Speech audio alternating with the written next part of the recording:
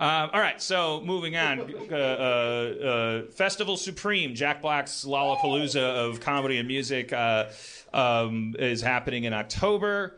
Uh, Harmontown is doing a show. Jeff isn't going to be able to uh, participate, but we're doing a Harmontown Sadly, Festival I'll be out of Supreme.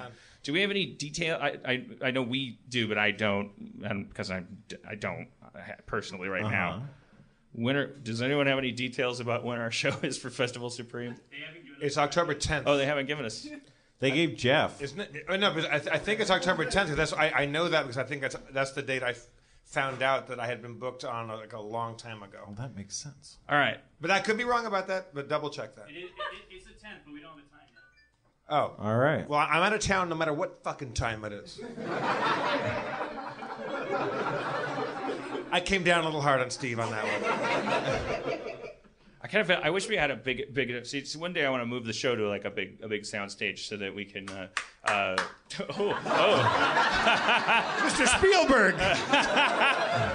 it's it's it's it's nine foot ne- uh, Neil I can't see around this pillar because I'm tall Nine foot Neil should meet uh, Tay Brigson. yeah. The, t- the tallest fan of the show should meet the littlest show promoter. Uh,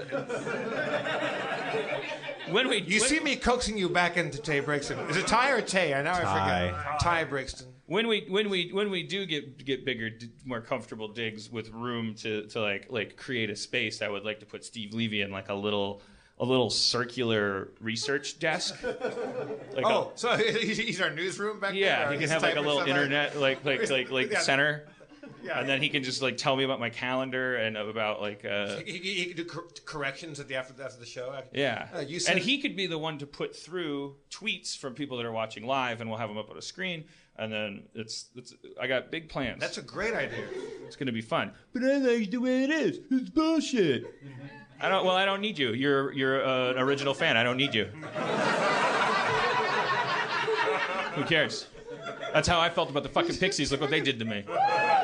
They broke up twice, You just Donald Trump. The and they made and they, audience and they and they and they had a big laugh about it.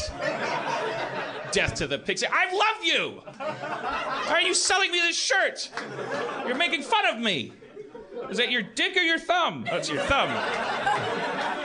Uh, you are a debaser. You really are. Eight, eight laughs from people with really specific haircuts, I'm sure. All right.